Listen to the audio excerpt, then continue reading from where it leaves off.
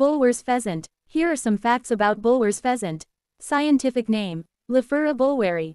Appearance. Bulwer's pheasant is a striking bird with glossy black plumage, a prominent white crest, and red facial skin. Habitat. It is native to the forests of Borneo and is found in mountainous regions. Diet.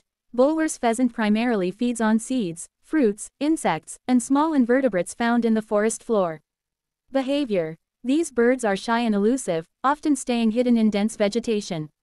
Conservation status. The conservation status of Bulwer's pheasant is currently listed as vulnerable due to habitat loss and hunting pressure.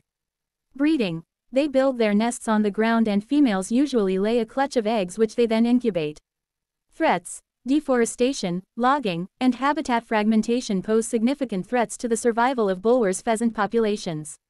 Protection. Conservation efforts, including habitat preservation and anti-poaching measures, are crucial for the protection of this species.